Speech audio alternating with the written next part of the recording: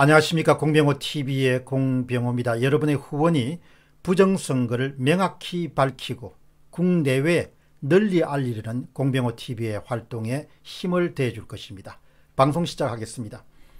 21대 총선 데이터 분석 결과에 따르면 지역의 사전투표보다도 오히려 비례대표 사전투표가 훨씬 더 심하게 조작되었다는 그런 결론을 이끌어낼 수가 있습니다. 사전선거에서 지역구는 차이 그러니까 사전 득표율 빼기 당일 득표율 격차가 더불어민주당 같은 경우는 플러스 한 12%, 13% 정도였습니다.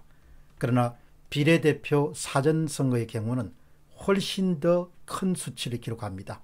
20%를 웃돌게 됩니다. 첫 번째 질문은 비례대표에 대한 21대 총선 통계입니다. 여러분이 보시는 자료는 비례대표 사전투표에서 설거글 결과에 대한 조작 의혹을 강하게 뒷받침할 수 있는 통계적 증거로 활용될 수 있을 것입니다. 여러분이 보시는 그런 자료의 비례대표 투표에서 정당별로 얻은 득표를 분포도를 그린 것입니다. 우선 X축, 가로축은 차이 혹은 격차를 이야기합니다. 사전 득표율 빼기 당일 득표율입니다. Y 세로축은 선거구 크기입니다. 비율의 차이는 평균값 제로에 가깝습니다. 0에 가깝습니다. 그러니까 어, 사전 득표율 빼기 당일 득표율은 어느 정당을 불문하고 대부분 0을 중심으로 집중적으로 배치된 것이 바로 정상 상태입니다. 정상 상태에서 오차 범위를 벗어나서 멀리 떨어져 있다면 플러스 쪽이나 마이너스 쪽으로 오른쪽이나 왼쪽으로 크게 배치되어 있다면 그러면은 기본적으로 비정상 상태, 통계적 개입이나 조작이 있었다 이렇게 의심할 수가 있겠습니다. 대부분 비율입니다. 사전 득표율 빼기 당일 득표율과 같은 그런 차이를 나타내는 비율은 평균값 제로를 중심으로서 분포돼야 됩니다.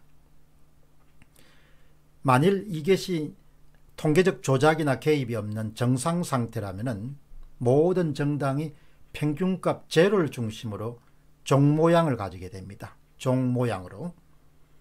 세로축이 선거구 크기이기 때문에 가장 많은 득표수를 기록하는 더불어민주당과 미래통합당 그러니까 위성정당인 열린민주당 더불어시민당이죠. 더불어시민당과 미래한국당이 거의 겹친 모양으로 그렇게 모습을 보여야 됩니다.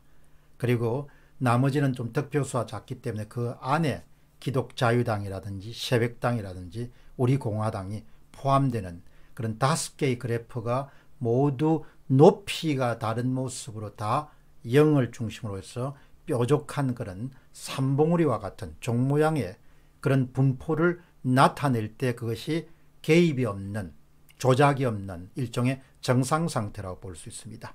그러나 여러분 지금 분포도를 한번 보시기 바랍니다. 아주 괴상한 분포도가 나왔죠. 이 분포도를 통해서 통계적 분석과로서 내릴 수 있는 결론은 엄청난 조작이 있었을 가능성이 높다는 사실입니다. 그러나 여러분 여기에서 한번 주목해 보시기 바랍니다. 아주 특별한 지역이 있습니다. 그것은 바로 조작 청정 지역입니다. 통계적 개입 청정 지역입니다. 어떤 종류의 자의적인 개입이 없어지고가 바로 광주와 전남과 전북입니다. 여러분 영을 중심으로 하단에 보시게 되면 노란 표시를 하신 부분이 있을 것입니다. 그것이 바로 광주, 전남, 전북 지역을 분포도로 그린 것입니다. 영을 중심으로 대부분 세 지역이 전국에 비해서 작기 때문에 높이가 낮습니다. 그럼에도 불구하고 거의 정규 분포를 그리게 됩니다. 0값을 중심으로 해서 오차 범위 내에서 종 모양의 정규 분포를 그리고 있습니다. 통계적 조작 청정지역, 조작 청정지역, 개입 청정지역, 여당이 확실하게 이길 수 있기 때문에 굳이 개입할 필요가 없는 지역, 이것이 바로 광주, 전남, 전북입니다. 이 지역이 0값을 중심으로 하단에 밀집되어 있습니다. 바로 이것이 정상 상태입니다. 여러분 이것이 정상 상태입니다. 그러나 한번 보시죠. 개입이 있거나 조작이 있는 경우는 보시게 되면 열린 더불어 시민당 같은 경우는 더불어 시민당 같은 경우는 평균값이 플러스 27.85%로 오른쪽으로 이동해 있습니다. 그 다음에 열린민주당이 조금 더 낮은 형태를 갖고 있죠.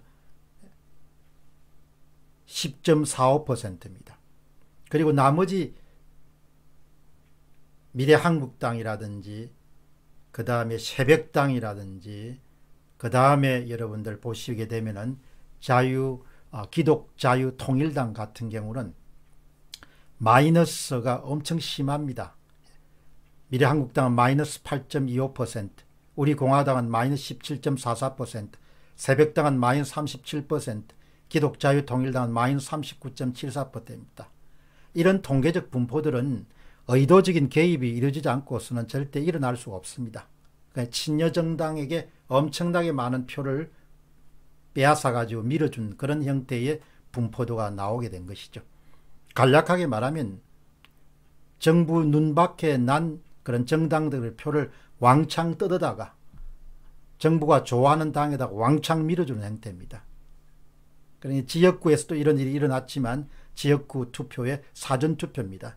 그러나 비례투표에서는 훨씬 더 인위적인 그런 결과가 나오게 되는 것이죠. 이런 통계 분석을 보고도 개입이 없었다 이렇게 주장하는 사람들은 정말 한마디로 대책이 없는 사람들이죠. 뭐 대책이 없는 겁니다. 이런 그래프를 보여주면 이런 그래프를 보고도 다른 말을 하고 아직도 개입이 없다. 조작이 없었다. 사이로 총수는 문제가 없었다. 이렇게 하는 사람은 정말 한마디로 대책이 없는 거죠. 뭘 가지고 이제 설득하겠습니까? 어떻든 이런 멋진 엑셀 작업을 제공한 한스님에게 거듭 감사한 마음을 전하고 싶습니다. 여기서 다시 한번 강조하겠습니다. 정상은 어디입니까? 광주, 전남, 전북밖에 없습니다. 정상 지역이. 나머지 모든 지역은 비례대표 사전투표에서 상당한 왜곡이 발생했을 가능성이 높습니다. 통계적 분석은 그것을 우리에게 정확하게 가르쳐주고 있습니다. 공병호 TV의 공병호였습니다. 감사합니다.